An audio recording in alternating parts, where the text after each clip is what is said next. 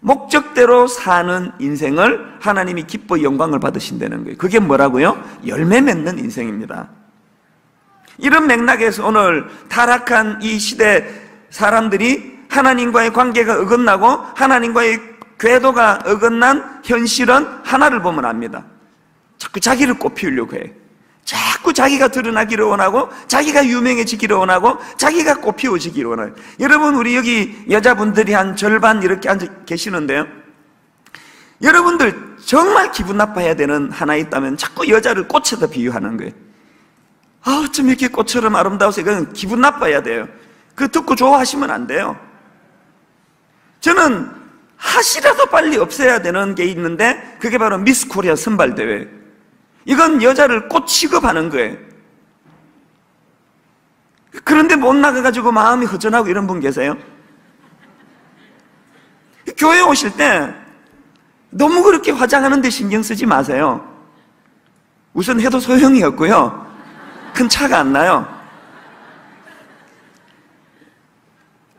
하나님 앞에서 우리는 내 화려함을 자랑하는 꽃 피우기 위해 태어난 존재가 아닙니다. 다시는 여자를 꽃에다 비유하는 일이 없기를 바랍니다. 미스 코리아 선발대회 같은 건 이건 없애야 되는데 어떻게 없애야 돼요? 촛불 집회를 좀 할까요? 그거 보고 헬렐레 그러는 거는 하나님의 창조 질서에 반하는 행위입니다. 여자는 그렇게 취급하면 안 됩니다. 하나님께서 관상용으로 만든 게 여자가 아니에요. 그러니까 자꾸 우리가 뭐 남자도 그렇고 여자도 그렇고 하나님의 창조 질서대로 살지를 못하니까 남자들은 저렇게 땀 흘려 수고하는 것도 다 내가 꼽히기 위해서예요. 내가 유명해지고 내가 돈을 많이 벌고 내가 권력을 손에 쥐고 내가 사람들에게 인정받기 위해서. 그래서 목회에 대해서도 항상 두려워해야 되는 게 뭐냐면 하나님은 결과를 보시지 않아요. 오늘 저 이찬수 목사가 도대체 무슨 의도를 가지고 저렇게 열심히 목회를 하느냐? 자기 인생을 꽃피우기 위해 다른 목사님보다 설교 잘한다는 소리를 듣고 다른 목사님보다 목회 잘한다는 그런 갈망을 가지고 목회를 하면 저는 하나님을 근심하게 만드는 존재입니다. 우리는 자기를 꽃피우는 존재가 아니에요. 옛날에 제가 어릴 때 그 김도향이라는 가수분이 불렀던 노래 중에서 그 벽오동 심은 뜻은 이런 노래가 있습니다. 아마 저보다 윗 세대 분들은 이 노래를 다 아실 거예요. 그 민요풍의 그 노래. 벽오동 심은 뜻은 이렇게 구슬프게 부르는 노래인데 봉황을 보셨더니 어이타 봉황은 꿈이었다 안 오시뇨 또 그 다음에 보니까 달맞이 가장 뜻은 님을 모셔 가자인데 어이타 우리님은 가고 아니 오시는요. 의도한 대로 잘 안 됐다는 거예요 벽오동을 심을 때는 봉황을 보려고 했는데 목적대로 안 됐다는 게 이 후렴이 굉장히 의미가 있습니다. 그렇게 구슬프게 노래하고 후렴에 가가지고는 갑자기 그 노래가 이렇게 진행이 됩니다. 하늘아 무너져라 와르르르르르 이게 계속 나와요 후렴에.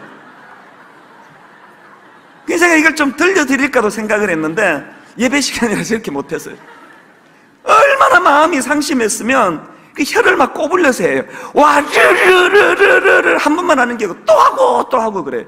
그리고 또 그 다음에 벽오동 심은 뜻은 봉황을 보았더니 어이타 봉황은 꿈이었다 안 오시냐 이거 또 반복을 하는 거예요. 그래서 제가 그 노래를 들으면서 그 누군가가 벽오동을 심었는데 그 뜻한 대로 잘 안 돼서 그렇게 와르르르 가슴이 무너진다 그러는데 이게 꼭 그 하나님의 마음 같이 느껴지는 거예요.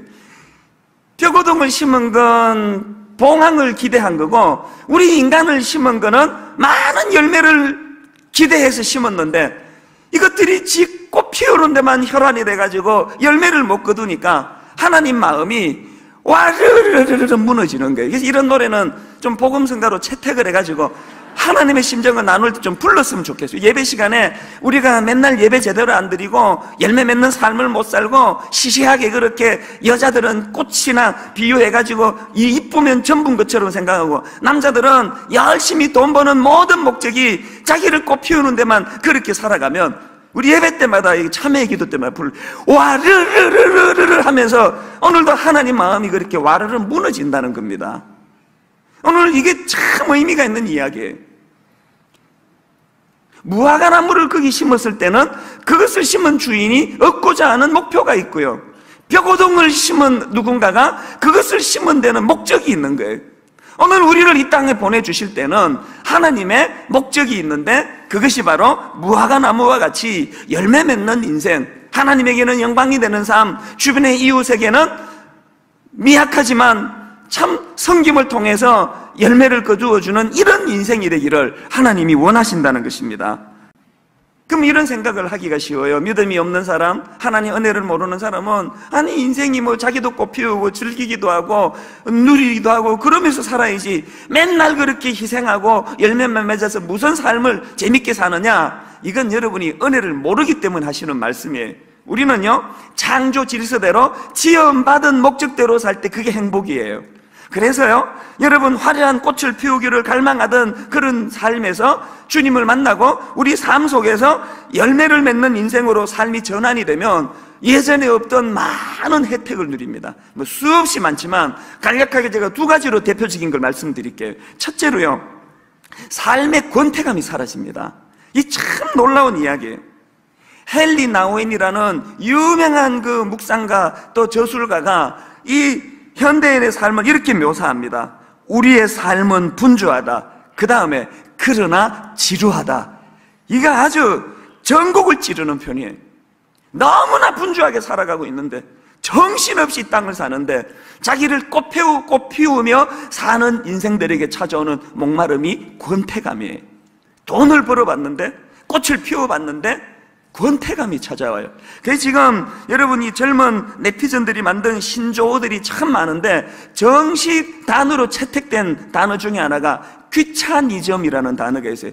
이 뭐 이런 유치한 단어를 만들었나 싶은데 그런데 거기에 제가 사전을 찾아보니까 이런 뜻이 있습니다. 만사가 귀찮아서 게으름 피우는 현상이 고착화된 상태. 이걸 귀차니즘이라고 합니다.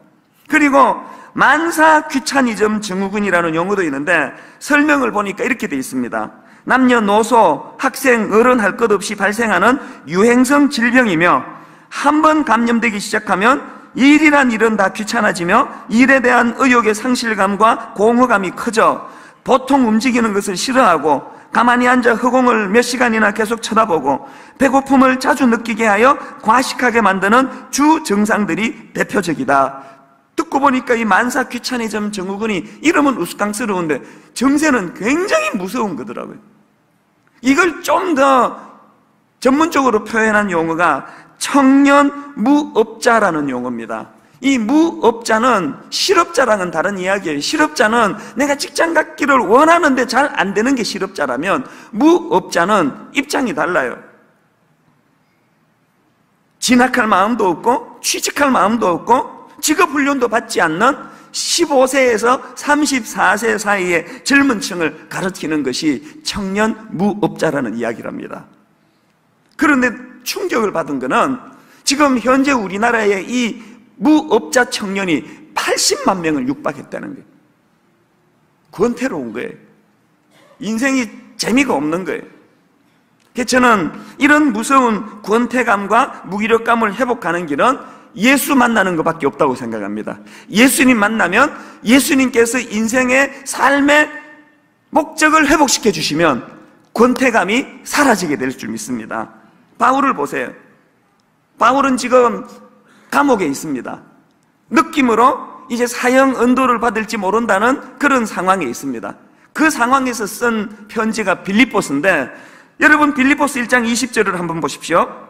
나의 간절한 기대와 소망을 따라 아무 일에든지 부끄러워하지 아니하고 지금도 전과 같이 온전히 담대하여 살든지 죽든지 내 몸에서 그리스도가 존귀하게 되게 하지 않으니 이는 내게 사는 것이 그리스도니 죽는 것도 유익함이라. 한마디로 말하면 자기 인생의 목적이 화려한 꽃 피우는 인생이 아니라 하나님의 영광을 위하여 열매 맺는 인생이라는 그 이야기입니다.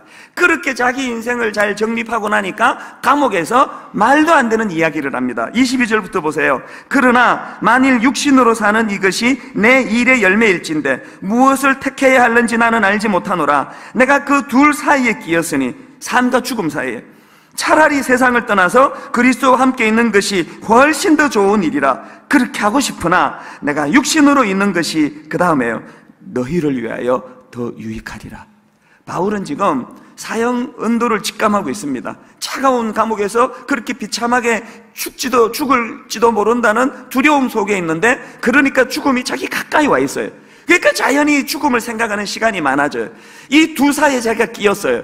그런데 뭐라고 결론합니까? 나 자신을 위해서는 이렇게 비참한 감옥 바닥에서 실패한 것처럼 살다가 사형당해 죽는 것보다 당장 죽어서 하나님 곁에 가는 게 나 자신을 위해서는 더 유익하다는 겁니다. 그러나 오늘도 삶의 의지를 불태우는 것은 그러나 내가 살아야 되겠다 결심하는 것은 나를 위해서가 아니고 너희들을 위해서 필요하다는 겁니다. 여러분, 이 바울에게서 삶의 권태감이 묻어나 있습니까?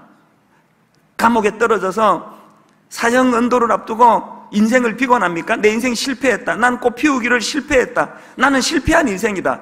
우울증에 걸리는 모습이 보이지를 않습니다. 왜 그렇습니까? 삶에 하나님께서 그를 보내주신 목적을 회복하고 나니까 권태감이 사라지는 거예요. 저는 여러분들 가운데 지금 경제적으로 어려움을 겪는 분이 많아서 마음이 아파요. 어쩔 땐 잠이 안 와요. 그러나 여러분, 오늘 여러분이 물질적으로 어려움에 빠진 그것 때문에 좌절하시지 마시기를 바랍니다. 여러분, 어떤 환경 때문에 마음이 무너져 내리는지 모르지만, 그럴수록 삶의 목적, 우리 편하자고 사는 게 이 땅이 아니에요. 누리고 즐기며 꽃을 피우는 건 따로 있습니다. 하나님 나라에서 그런 일이 일어날 것입니다. 우리는 절망할 수도 없습니다. 우리는 마음이 무너질 자유도 없습니다. 왜? 내가 무너지면 타인이 손해를 보는 게 우리 인생입니다.